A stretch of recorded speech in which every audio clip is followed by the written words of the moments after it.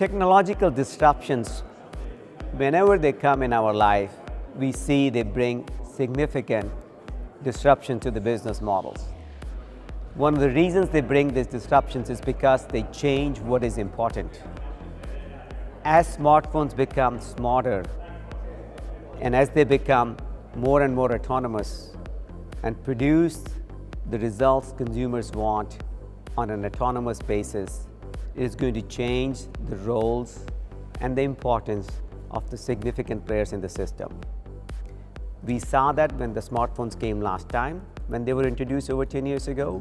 It changed the roles and their contributions and the profits in the process earned by different players, whether it is carriers, whether it is uh, uh, phone, phone, uh, phone manufact device manufacturers, or uh, app developers and we will see the same when these new disruptions come.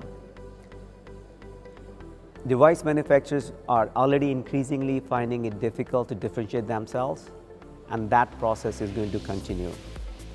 Carriers will find that they do not need to compete merely on price or quality of the call or the quality of the service consumers experience. There will be an increasing amount of focus on intelligence and intelligence will come from content, intelligence will come from how the data is collected and processed on a real-time basis, how it is delivered and how it is leveraged. So we will clearly see changes in the business models, changes in the roles, and yes, changes in how much and what money different players are making.